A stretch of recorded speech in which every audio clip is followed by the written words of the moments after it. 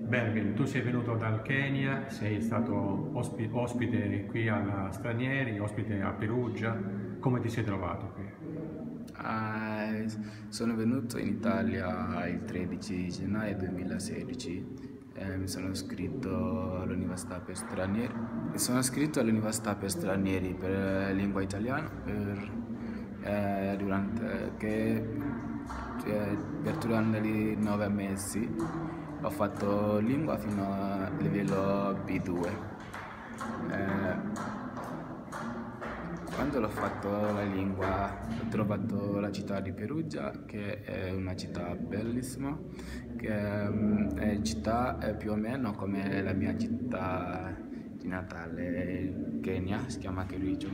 Quindi uh, io trovo bene a Perugia per quello che non ho cambiato la città per studiare all'università, mi sono iscritto all'Università degli Studi per fare eh, Dipartimento di Informatica e Matematica.